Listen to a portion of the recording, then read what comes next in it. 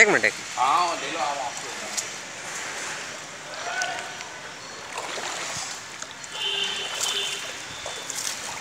देखो बर्तन भांडे भी देख लो कैसे